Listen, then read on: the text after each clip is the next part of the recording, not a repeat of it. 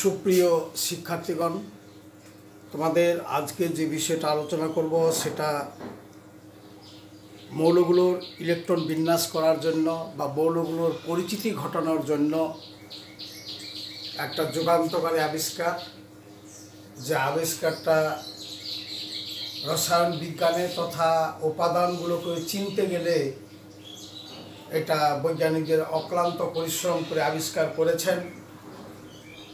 এটা না জানলে উপাদানগুলো কেমন করে রাসায়নিক বিক্রিয়া অংশগ্রহণ করে এবং কোনটি মৌলের কি নাম, কি তার ভৌত রাসায়নিক ধর্ম, ভৌত রাসায়নিক ধর্ম কি ধরনের হতে পারে, পূর্ব ধারণা করে অগ্রসর হওয়া রাসায়নিক বিক্রিয়ায় এইগুলো এখানে পরিষ্কার কিছুটা ধারণা দেয়।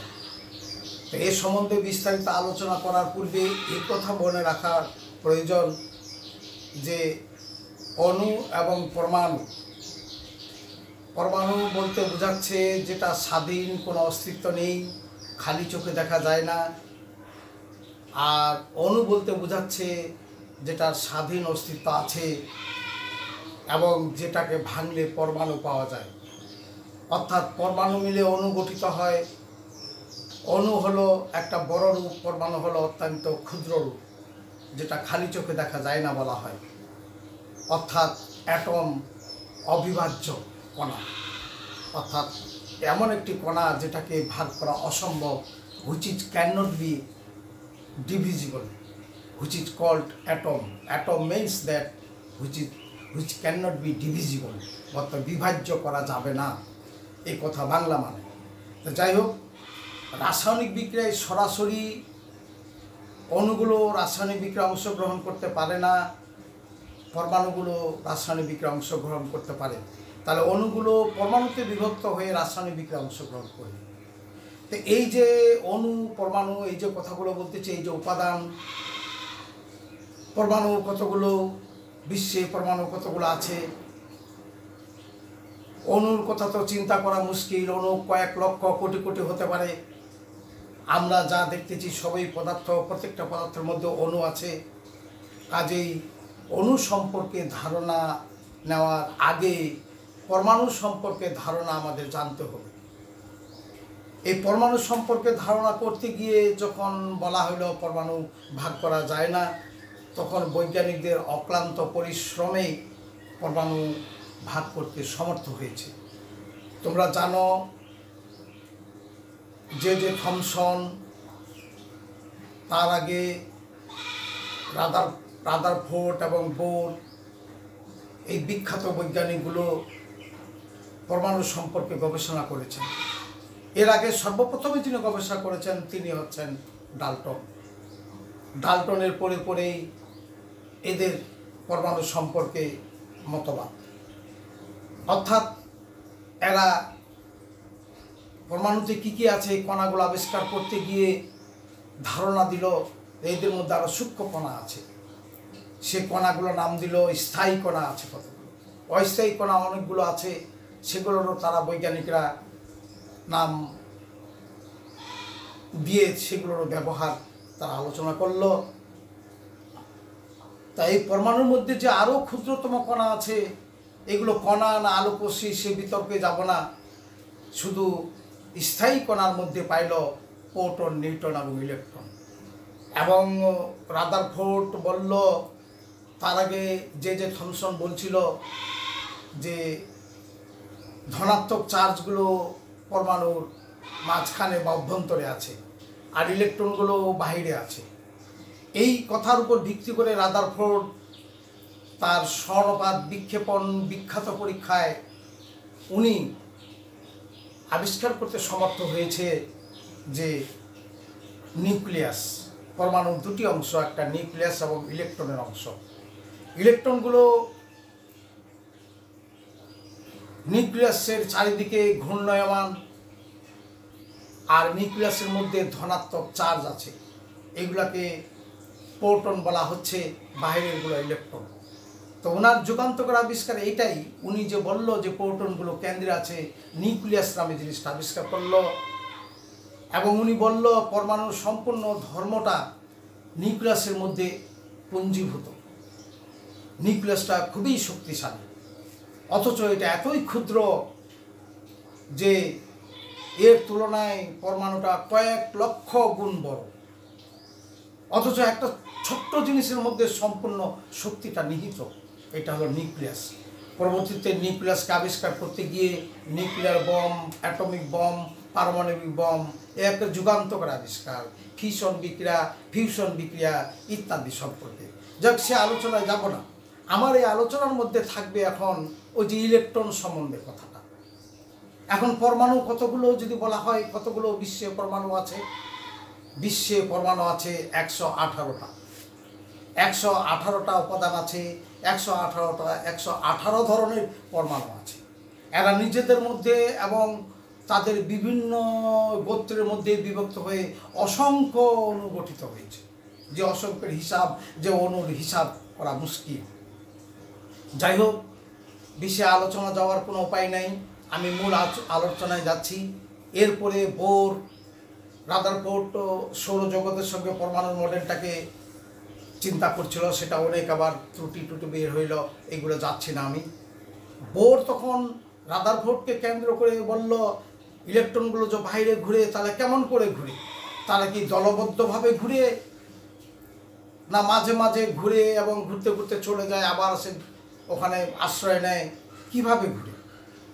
তখন উনি আবিষ্কার করল তিনটা রাস্তা, তিনটা প্রস্তাব প্রস্তাবনের আবিষ্কার। যে তিনটা আবিষ্কার ওনার যুগান্তকারী। সেটা হলো একটা শক্তি সম্পর্কিত। অর্থাৎ উনি বললেন, প্রত্যেকটি ইলেকট্রন নির্দিষ্ট কক্ষপথে একটা নির্দিষ্ট শক্তি নিয়ে ঘুরে, এগুলো হলো অনুমোদিত শক্তি স্তর বা প্রধান শক্তি স্তর। এবং এইগুলোর প্রত্যেকটা শক্তি স্তরে তাদের শক্তি নির্ভর করবে তার কম্পাঙ্কের উপর। এবং সেই শক্তি স্তরগুলো কে, এলিমেন্ট ইত্যাদি উনি বলবেন এবং কতটাতে কি ইলেকট্রন আছে সেটাও উনি প্রায় ধারণা দিলেন। অতপর উনি কৌণিক ভরবেগ ইলেকট্রন লাফালাফি করে শক্তি শোষণ এবং বিকরণ ইত্যাদি আবিষ্কার করল, সেটা পরের কথা।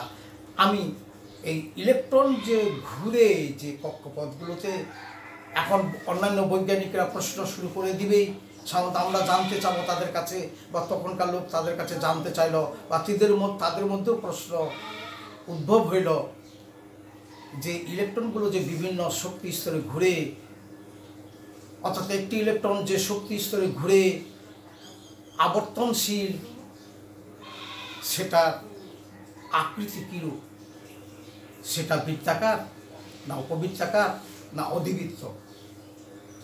এবং অর্থাৎ এই কক্ষপথের আকার, আকৃতি ওরিয়েন্টেশন এবং ইলেকট্রন ঘোরার যে দিক, এ সম্পর্কে কতগুলো প্রশ্নের উত্তর খোঁজার জন্য চারটি সংখ্যার অবধারণা করা হয়। এই চারটি সংখ্যাকে বলা হয় কোয়ান্টাম সংখ্যা। তা আজকে এই কোয়ান্টাম সংখ্যা সম্পর্কে আমার আলোচনা। এই কোয়ান্টাম সংখ্যা না জানলে, না বুঝলে পরমাণুটার ইলেকট্রনগুলো কোথায়, কোনটা কীভাবে আছে, এটা দেখবার যে উপায়টা এবং পরীক্ষাগারে তা আবার প্রমাণও হয়েছে। এটা শুধু রসায়ন শুধু কাল্পনিক না, এটা পরীক্ষামূলক একটা বিজ্ঞান। যাই হোক তো এখন প্রশ্ন হইল ইলেকট্রন যে কক্ষপথে ঘুরে কক্ষপথ আকার কীরকম দেখতে কীরকম size shape and orientation and direction that is N N M S এই চারটি জিনিসের আবিষ্কার করা হলো। এই চারটি জিনিসকে একসঙ্গে বলা হচ্ছে কোয়ান্টাম সংখ্যা। যেখানে এনটা হইল প্রধান শক্তি স্তর কে এন এম এন ইত্যাদি। এল যেখানে উপশক্তি স্তর এস পি ডি এবং এফ এবং এমটা যেখানে হইল এই শক্তি স্তরে ইলেকট্রনের অরবিটাল। অরবিটাল সম্বন্ধে কথাবার্তা। আর এস যেখানে হইল এটা ঘড়ির কাটার দিকে ঘুরে না ঘড়ির কাটার দিকে ঘুরে অর্থাৎ প্লাস মাইনাস হাফ ইত্যাদি আবিষ্কার। তাহলে এখানে দেখা যাচ্ছে প্রধান কোয়ান্টাম সংখ্যা, সহকারী কোয়ান্টাম সংখ্যা ম্যাগনেটিক বা চৌম্বক এবং স্পিন ঘূর্ণয় অর্থাৎ shape size orientation and direction এই চারটা জিনিসকে নিয়ে চারটা সংখ্যার উপর অবতারণা করা হয়েছে। এই চারটা সংখ্যাকে একসঙ্গে বলা হচ্ছে কোয়ান্টাম সংখ্যা। এবং কোয়ান্টাম সংখ্যা ডেফিনেশন বা সংজ্ঞা দিতে গেলে এইভাবেই জিনিসটাকে আনতে হবে। আবার এই ইলেকট্রন কণা এবং তরঙ্গ, হাইসেনবার্গ, আনসার্টেনটি প্রিন্সিপালে সে কথাটা বলা হয়েছে। ডিব্রগলি বলছে এটা তরঙ্গ। তার সমীকরণে দেখিয়েছে। যাই হোক, সে তরঙ্গ হোক আর কণায় হোক, ইলেকট্রনগুলো ঘনীভূত এস কয় প্রকারের ঘনীভূত হতে পারে, কয় জায়গায় হতে পারে পি কয় জায়গায় ঘনীভূত হতে পারে ডি কয় কয় জায়গায় ঘনীভূত হবে, ছাপ ছাপ ঘন ঘন ঘন ছাপ পাওয়া যাবে। এফের কয়েক জায়গায় ঘনীভূত হবে, সেটাকে বলা হচ্ছে অরবিটাল। এসের ঘনীভূত পাওয়া গেছে কত, ডির কত এফের কত, পির কত, এগুলো পরে আমরা আসতেছি। তাহলে এই কোয়ান্টাম সংখ্যাগুলো আমরা নাম দিব। এই এন হলো প্রধান, মেইন। এটার নাম দিব আমরা সহকারী। এটা হলো চম্বুক। এটা হলো দিক বা স্পিড অর্থাৎ প্রধান কোয়ান্টাম সংখ্যা, সহকারী কোয়ান্টাম সংখ্যা চৌম্বক কোয়ান্টাম সংখ্যা এবং দিক প্রকাশক কোয়ান্টাম সংখ্যা, ঘূর্ণয়ন বিষয়ক কোয়ান্টাম সংখ্যা। এগুলো সম্পর্কে বিস্তারিত আলোচনা করার আগে একটি একটি করে আমরা একটু আলোচনা করি। তাহলে কথাটা দাঁড়াল যে এই নিউক্লিয়াসের বাইরে ইলেকট্রন যে ঘুরে এই কক্ষপটটার আকার, আকৃতি, সেটা বৃত্তকার না উপবৃত্তকার না অধিবৃত্ত ইত্যাদি প্রশ্নের উত্তর করার জন্য shape size orientation and direction এই আবিষ্কারগুলোই হইল কোয়ান্টাম সংখ্যা। প্রথমে আমরা কোয়ান্টাম সংখ্যা, এক নম্বর কোয়ান্টাম সংখ্যা যেটা হলো প্রধান কোয়ান্টাম সংখ্যা।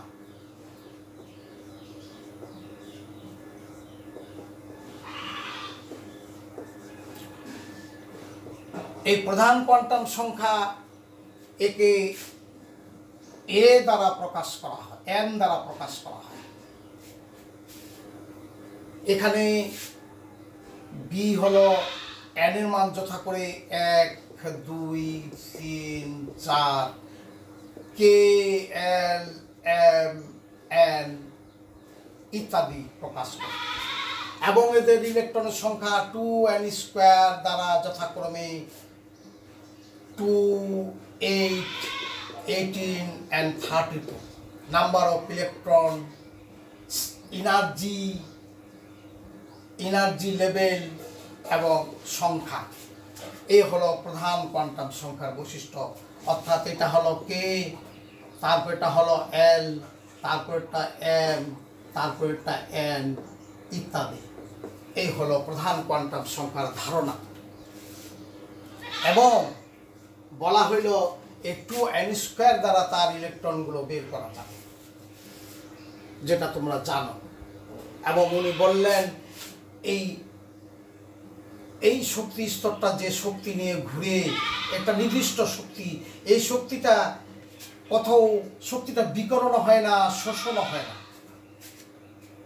এবং ঠিক তেমনি এটারও শক্তি আলাদা, নির্দিষ্ট শক্তি। ওইগুলোকে বলা হচ্ছে অনুমোদিত কক্ষপথ। That is main energy level principal energy level প্রধান কোয়ান্টাম সংখ্যা। এটা খুব গুরুত্বপূর্ণ জিনিস।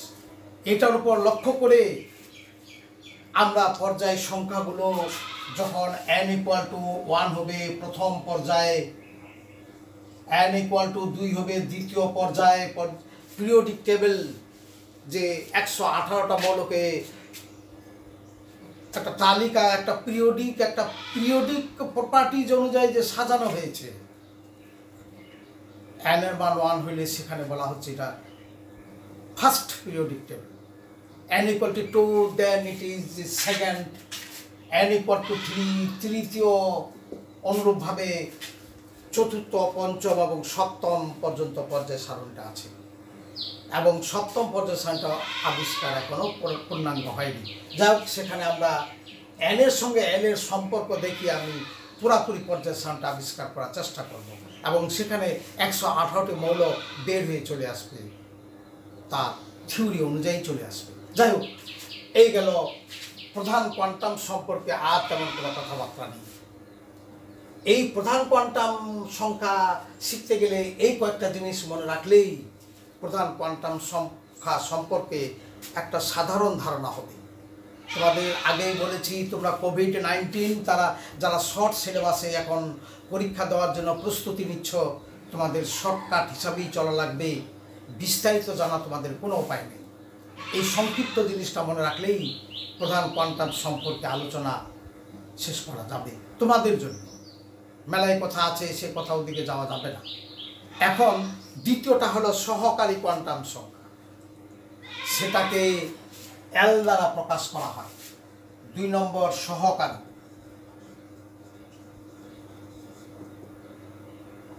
সাবসিডারি এজুমেথাল এই কোয়ান্টাম সংখ্যাকে সাধারণত ছোট হাতের এল দ্বারা প্রকাশ করা হয়। সহকারী। একে ছোট হাতের এল দ্বারা প্রকাশ করা হয়। এবং এর মানটা নির্ভর করে এন এর উপর। অর্থাৎ l is to n minus one শূন্য সহ। এবং এল এর মান যখন শূন্য, তখন যে উপশক্তি স্তরটা, উপশক্তি স্তর, সেটাকে এস বলা হয়। এর মান যখন ওয়ান তখন উপশক্তি স্তরটাকে পি হিসাবে বলা হয়। এর মান যখন দুই, তখন উপশক্তি স্তরটা d n equal to n equal to three উপশক্তি স্তরটাকে বলা হয় এফ আর আবিষ্কার করার এখনও প্রয়োজন হয়নি।